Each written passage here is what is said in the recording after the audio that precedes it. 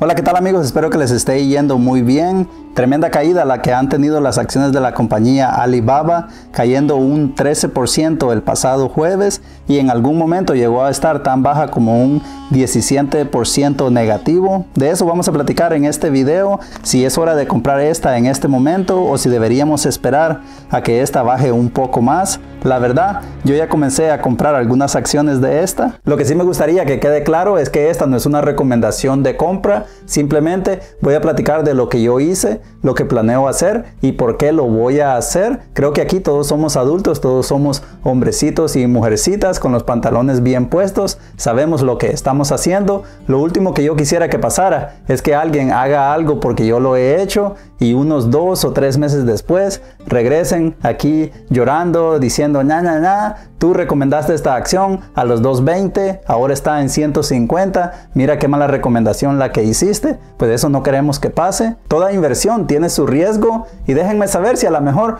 ustedes tienen una opinión diferente que la mía, puede ser de que a lo mejor piensen de que esta sea una mala inversión en este momento y está bien. Me lo pueden dejar saber allí en los comentarios y por qué es que tienen esa opinión. Me parece que pues eso es lo que hace a los mercados, que hayan compradores y hayan vendedores a un determinado precio, porque unas personas piensan de que la inversión es buena a ese nivel y otros piensan de que quizás no es tan buena.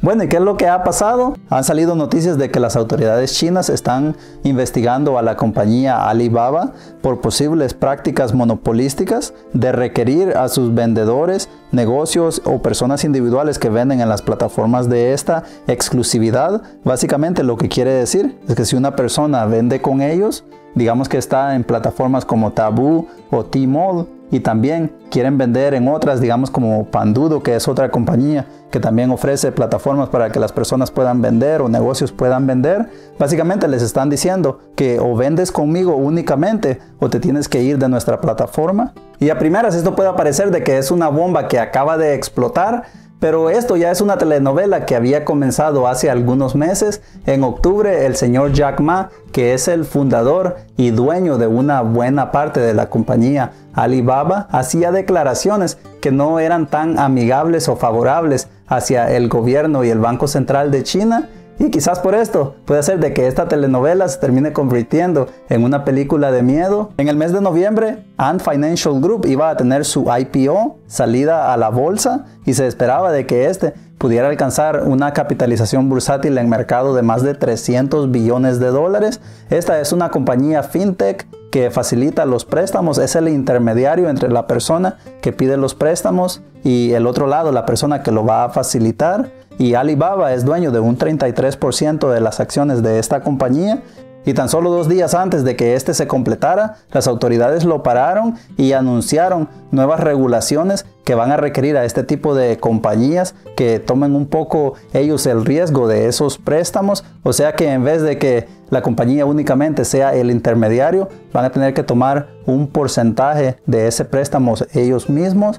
O sea que ahora ya no es una compañía fintech, sino que es una compañía fintech guion banco y pues esto ha causado de que la evaluación de esa compañía pierda bastante valor. Los analistas estiman de que quizás de más de 300 billones de dólares que esta podría haber costado, ahora quizás la evaluación sea únicamente unos 150 billones de dólares. O sea que Alibaba, al ser dueño de un 33%, es como más de 50 billones de dólares que la inversión de ellos quizás haya perdido. Y en noviembre el gobierno chino anunciaba de que iban a imponer nuevas reglas o nuevas regulaciones que iban a ser antimonopolísticas.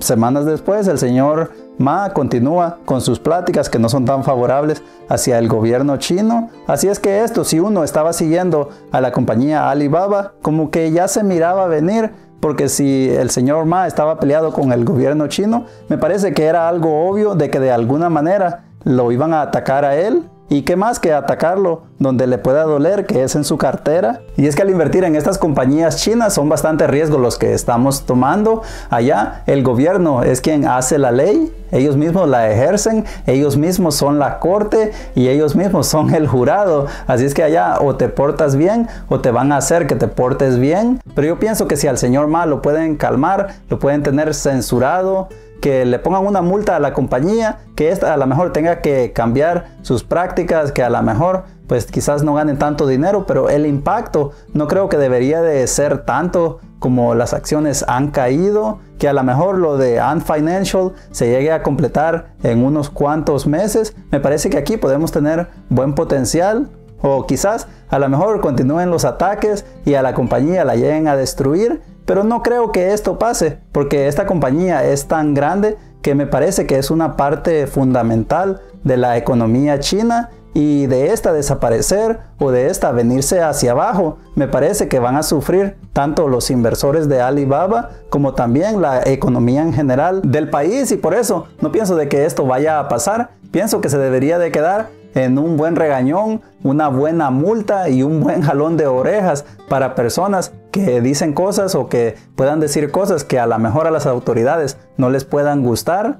Aparte también tenemos otro riesgo que tenemos que tener en cuenta, que es la ley que pasaron en los Estados Unidos hace algunos meses, la cual les va a requerir a las compañías internacionales que cotizan en la Bolsa de Estados Unidos que presenten su información financiera, que muestren su información de auditorías, así como lo hacen todas las compañías americanas. Y estas compañías chinas, pues el gobierno de allá no les permiten que ellos den esta información porque la consideran que es información interna del país o que puede ser como información de seguridad nacional. Y si estas compañías no pueden cumplir con ese requerimiento, pues no van a poder cotizar en la bolsa. Si tienen tres años que no han reportado lo que se les requiere, no se van a permitir que éstas estén cotizando en la bolsa americana y me parece que tampoco se le va a permitir a las personas que viven o ciudadanos de Estados Unidos que inviertan en estas compañías. Así es que pudiéramos tener un caso, digamos, en el que esos ataques contra la compañía continúen, que a esta le termine afectando sus números financieros y digamos que la acción se llegue a quedar en los 160, 180, 190 dólares. Nosotros la compramos a un precio de 200 dólares pasen esos tres años, todavía tengamos pérdidas y nos obliguen a tenernos que salir de esa posición con pérdidas. Pero algo que yo diría es de que si hay una compañía que se va a terminar quedando en la bolsa de Estados Unidos, me parece que va a ser la compañía Alibaba, porque ellos ya reportan su información financiera al estilo americano y la compañía que hace la auditoría de ellos es una compañía con muy buena reputación. Así que si hay una compañía que tenga las mejores posibilidades de terminar quedándose en la bolsa americana, me parece que definitivamente va a ser Alibaba. Y la razón por la que me animé a comenzar a comprar las acciones es porque después de lo que pasó con el IPO de Ant Financial Group, Ah, yo estaba esperando de que las acciones de Baba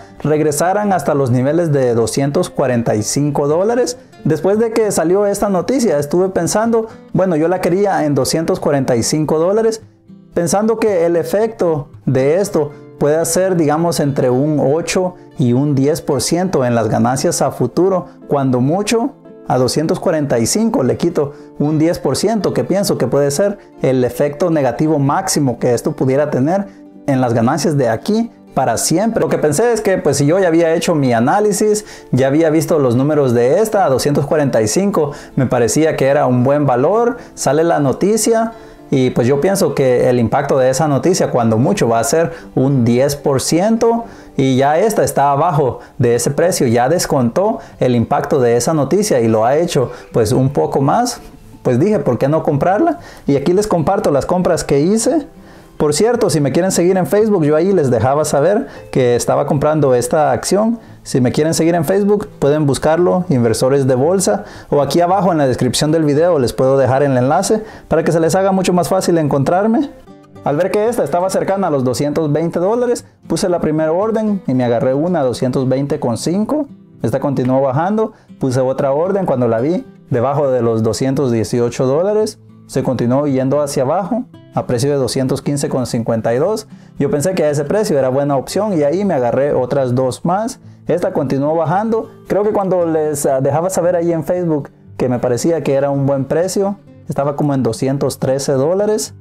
Y pues puse dos órdenes, dos acciones a 212,61, la cual sí se llenó. Así que ya tengo 6 acciones de esta y quería agarrarme más. Puse otra orden de 3 más a 210,5, pero no llegó. Creo que paró como a 211 dólares y ya regresó. Está como a los 222 dólares. O sea que ya estamos bastante positivos en esta posición. Pero la verdad me gustaría de que esta acción continuara bajando así para poder agarrarme unas cuantas más acciones, por lo menos duplicar o quizás triplicar la posición que ya tengo en esta. Y lo ideal sería poder bajar mi precio promedio hasta unos 200 dólares y me parece que puede ser bastante posible con todo el riesgo y el pánico que hay actualmente con los inversores. Puede hacer de que esa acción continúe bajando. Quizás llegue hasta unos 190 dólares o quizás tan baja como unos 180 dólares. La verdad no me sorprendería, pero espero poder aprovechar esa bajada si es que llega a pasar. Pero la cosa es que yo no tengo una bola de cristal. No sé si esto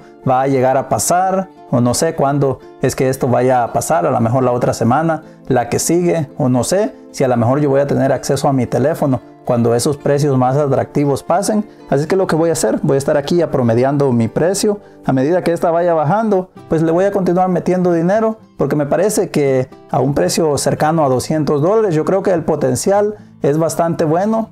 Porque si dejamos aparte todo lo que está pasando en este momento, digamos que si a la vuelta de un año y medio, dos años, todo esto ya quede en el retrovisor, que lo de Ant Financial Group se llegue a dar y con todas las expectativas buenas que hay de la compañía, de crecimiento de ventas, crecimiento de ganancias, me parece que esta acción pudiera tener potencial de alcanzar los 400 dólares. Y por eso es que digo que si la pudiéramos comprar a un precio promedio de 200 dólares para mí sería ideal porque tendría potencial de duplicar mi capital. Y es por eso que estoy dispuesto a asumir el riesgo y es que el hecho de que la compañía sea una compañía china pues tiene sus riesgos pero también tiene varias ventajas en este momento. Si tenemos en cuenta lo que es la recuperación económica en China pues la recuperación ya se está dando. Y es que en algunas partes aunque allá empezó lo de la pandemia hay muchas partes que no fueron afectadas. Y según los números oficiales pues ya el país ya está viendo crecimiento,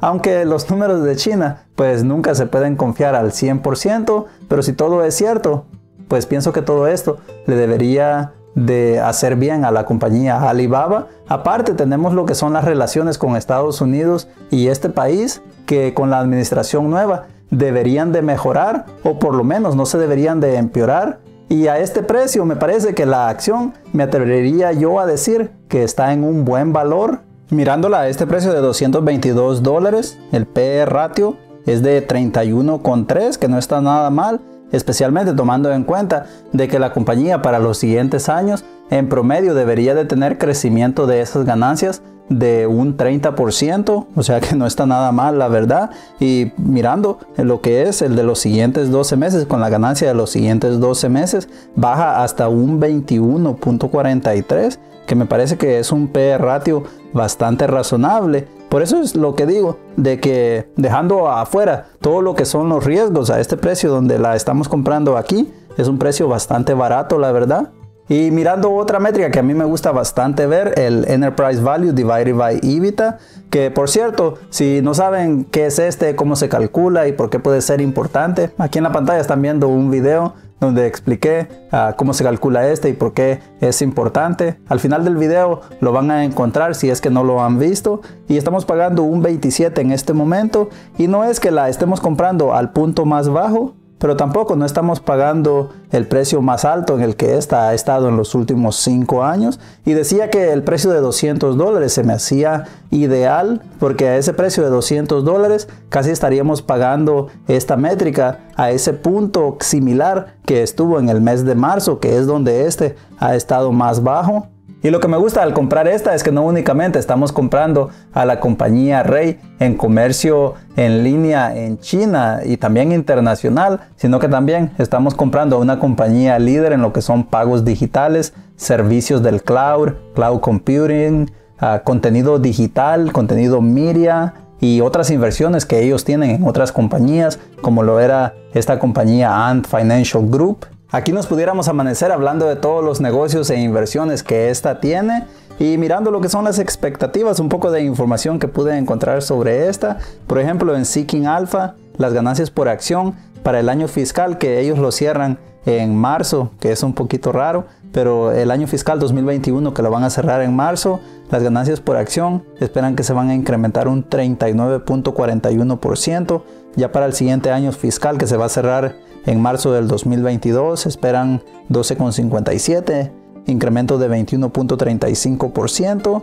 Y en Interactive Brokers encontré un poco más de información, no más que con Interactive Brokers lo hacen en la moneda local, pero como pueden ver, esa tendencia de incremento de ganancias pues va a continuar yendo hacia arriba de aquí a los siguientes años y las ventas todavía se miran mucho mejor.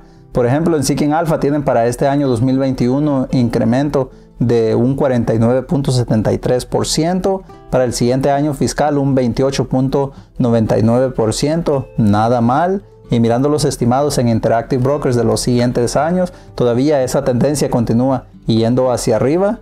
Y algo que me gusta con esta es de que mm, a pesar de que quizás el segmento de lo que son las ventas en línea, por toda la regulación o quizás todos esos ataques que quizás se puedan intensificar en el futuro, quizás estas se fueran a ver afectadas, pero tenemos todos esos otros segmentos que todavía le pueden dar a la compañía mucho crecimiento o que pueden compensar quizás lo que puedan perder en lo que son las ventas en línea. Por ejemplo, en el último trimestre que las ventas ah, se incrementaron un 30%, lo que fue las ventas en línea crecieron un 29% y lo que es el segmento de cloud creció un 60%. Y es la ventaja que te da invertir en una compañía tan grande que tenga varias palancas que la compañía pueda jalar. Si es que a una no le está yendo bien, puede ser de que otro segmento va a hacer la diferencia o va a compensar lo que en el otro se esté perdiendo. Pero déjenme saber ustedes qué es lo que piensan. Pues yo simplemente les quería compartir mi opinión